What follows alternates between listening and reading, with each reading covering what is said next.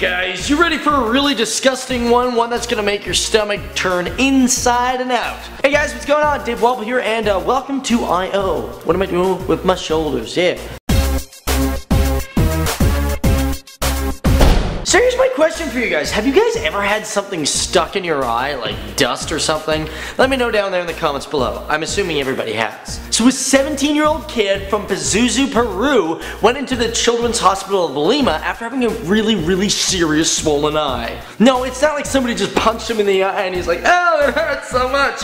Nah, this eye was swollen for like four weeks straight. Now, at the time, the doctors were all like, hey man, you just got an eye infection. Here's a couple of medicine crap crap for your eye. But unfortunately, nothing really cured the whole inflammation and then they did a scan and found out that there was a giant bug in his eye. Now, you guys, but I feel like if there was a fly or a larvae or a bug or a worm in my eye underneath this, I would feel it moving around and I would probably, you know, get them to open it up and take a look. Now, the worst part for this kid is he had this worm in one of the worst places in your eye. I think they call it like the death triangle or something like that, and if you get an infection in there, it can go right to the brain. Now it's believed that this larvae, which is a worm, pretty much came from a human botfly. And it's said that it laid its larvae in the kid's eye, probably when he was sleeping. Now when this sort of thing happens, it's really unusual for people not to have surgery,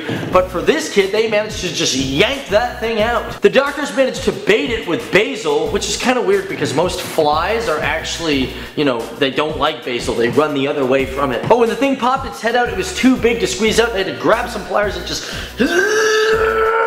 yank it out. And then check it out. Seriously, it pops out in three, two, one, just like that.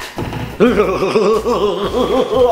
that thing looked big, right? That thing was three centimeters long, which is like an inch, and it was fat. It was like half a centimeter thick. That thing's living in your eye. Either way, I'm happy for the kid. He's got the fly out without having a really serious surgery. The only thing that I can say about him is he's pretty fly for larvae in his eye.